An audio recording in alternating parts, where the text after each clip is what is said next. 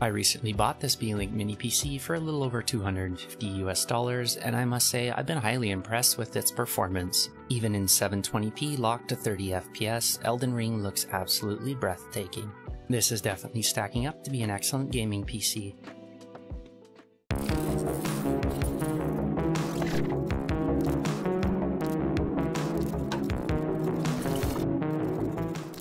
I purchased this as an open box unit from Amazon Warehouse Deals, but was pleasantly surprised to find that it was in excellent condition despite being previously opened. The Beelink Mini PC here boasts some impressive specs including the Ryzen 5560U processor, 16 gigs of LPDDR4 memory, and a 500 gig M2 drive. Let's take a look inside the box and see what's included.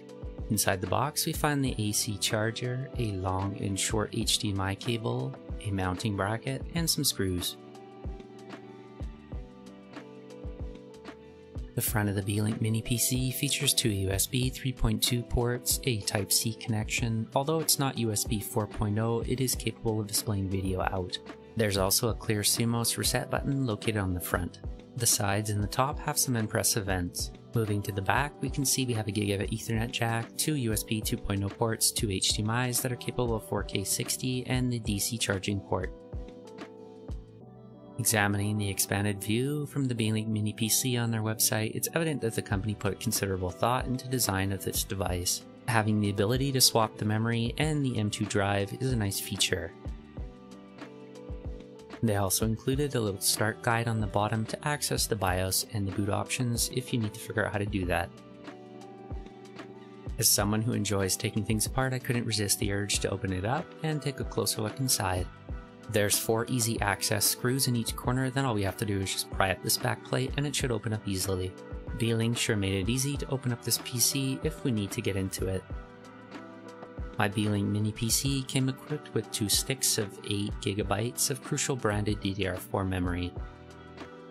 I did find a great deal on a 32GB kit, so I went ahead and upgraded that in my unit.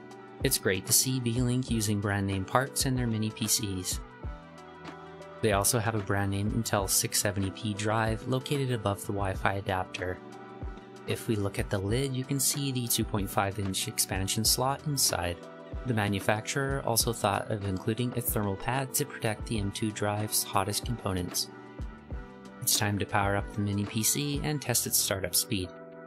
With only an antivirus program and no bloatware on the OS, this mini PC is now set up and ready to use. This is going to be a similar boot test to what you'll experience when you've just set up your PC. Thanks to the Intel NVMe drive, it boasts a startup speed of a little over 15 seconds, which is really impressive. I attempted to run Geekbench on the PC, but encountered some issues with getting the test started. I decided to test its performance and temperature management in Cinebench instead, just to see how it performs. After running the test for about 8 minutes, I observed that the temperature peaked at around 75 Celsius while using the stock 25 watt TDP. This is all thanks to the excellent cooling system implemented in this mini PC, which helps keep the APU from thermal throttling. The 25 watt TDP configuration at stock seems to be a perfect match for the cooling system that they're using in this PC. Even at these higher temperatures, the computer runs whisper quiet thanks to this small little fan that they've included on this heatsink. If you're looking for a silent computer, this is definitely the way to go. Running the benchmark in CPU-Z, I got a multi-core score of around 3500 with a single-threaded score of 557. By submitting this score to the benchmark database, we can compare it to other CPUs in the market. The Ryzen 5560U with its 25 watt TDP performs impressively in single threaded workloads, surpassing other impressive CPUs and even beating others like the i9 9900KF and 11400H. Overall, the single threaded performance of the Ryzen 5560U is highly commendable. The Beelink Mini PC shows decent performance in multi-core workloads, although it falls slightly behind other CPUs such as the i5 10600. However, it does outperform other APUs such as the i7-1255U and the Ryzen 5600U, at least at this TDP. We're getting pretty decent performance here from our multi-threaded workloads. In terms of Cinebench scores, the Beelink falls short of other impressive chips such as the 9880H, but it manages to outperform the i7-7700K. That being said, you can still use this mini PC for rendering or editing tasks. In single-threaded scores here, it seems to match the single-threaded performance by the i7 1165G7 and surpasses the 7700K and the 9880H. To gain some further insight into the unit's performance, we can load up CPU-Z. CPU-Z shows that the APU is capable of boosting over 4 GHz, which is quite impressive. The motherboard page shows us our BIOS version as well as the PCI Express version that we're running. We can see that the 32GB Kingston memory kit that I installed is running correctly at 3200 MHz with a CL20 latency. The only difference between this kit and the stock kit is the capacity. It's also worth noting that at stock settings, Beelink has allocated 3GB of memory to the Vega graphics. This should help a little bit with gaming. When I first set up the mini PC, I found there was a user account already on the computer, but it was locked with a password. Because the account was locked, I had to reset Windows through the recovery options and perform a full reinstallation, which is probably what I would recommend in this case anyways. Despite this, the SSD still maintains its health at 100% with about 900 gigs in reads and 1000 in writes. It's worth noting that the drive is PCI Express 3.0, it's a QLC drive, and it has a DRAM cache. Having a DRAM cache should help prevent any slowdowns as the drive fills up. With 2.6 GB per second read and 1.5 GB per second write, it's a really good drive. I'm getting a solid 866 megabyte connection on my Wi-Fi 6 router over 5 GHz. A quick internet speed test also indicates that the mini PC is capable of producing impressive download speeds of over 400 megabits per second and upload speeds of over 100 megabits per second. I'm not getting the full 1000 down, which I have here, but that's alright because it's still a decent connection. This PC is a great option for media consumption, as it can easily consume 4K content on YouTube without any major issues. Although it may drop a few frames at the beginning when buffering, it performs flawlessly afterwards. It's worth noting seeing a few frames dropped at the beginning of a rendering a video is quite common. Being able to handle 4K media content without issue and the Whisper Quiet fan on board makes this an ideal choice for a Plex server. Moving over to streaming 8K, it's clear that the Beelink PC finally met its match. If you look up the top left corner, you'll notice that all the video frames are nearly being dropped, and the PC is struggling to keep up. Given 8K content is still relatively rare and the screens required to view it are still relatively expensive, it's not really a crucial factor for most users.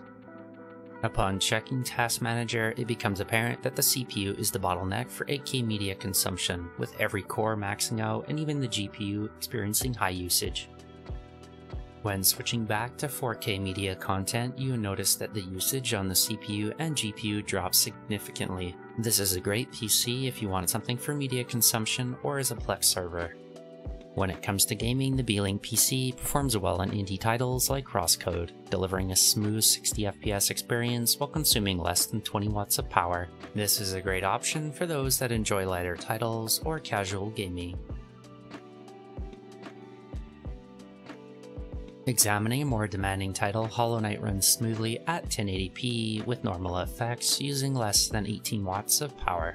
The game loads new areas quite quickly and particle effects do not affect the frame rate in any noticeable way. This is another game that's well suited for this PC. When running Ori and the Will of the Wisps at 1080p low settings, the frame rate struggles to keep up at 60 FPS and drops as low as 40 to 50 in certain areas. However, when switching to 720p balanced graphical settings, we can achieve the same frame rates as 1080p low. If we want to hit a constant 60 FPS, all we have to do is just drop the graphical settings to low on 720p and we get a smooth 60. When it comes to playing older DirectX 9 titles like Alan Wake, the performance relies heavily on the CPU. However, even with this limitation, the game can provide a solid 30 FPS experience at resolutions as high as 1080p. Playing some older AAA titles like this at console-like frame rates on a PC that costs less than 300 US dollars is still quite an enjoyable experience. While playing Subnautica, I adjusted the settings to 720p low to ensure a smooth 60 FPS experience while maintaining the game's impressive visuals. Those who don't mind a locked 30 FPS frame rate could even raise the resolution to 1080p low. As a fan of Doom, I couldn't resist testing the remake on the PC to see how it performed. Surprisingly, even with the settings set to low at 100% resolution scale in 720p, the game looks great and runs easily over 60 FPS. Even in high particle and effect areas, it doesn't have any issue keeping the frame rate over 60 FPS. However, when you bump the resolution up to 1080p, the game runs at 30 FPS, which seems to be a trend so far with this APU. The frame rate is going over 30 FPS, but you're better off just locking the frame rate to either 30 or 40 FPS. Moving on to Elden Ring, even at 720p low settings, the game looks impressive, and I'm able to achieve a consistent 30 FPS. Despite this game's notorious difficulty, it's still one of my favorite titles from the past couple of years. I have no doubt that someone could comfortably finish this game running on this mini PC. Even with the APU running at 25 watts, we're not getting any thermal throttling, which is great to see. If you want to see a mini PC optimization guide down the road, let me know. There's definitely a lot of ways that we can squeeze extra performance out of any mini PC.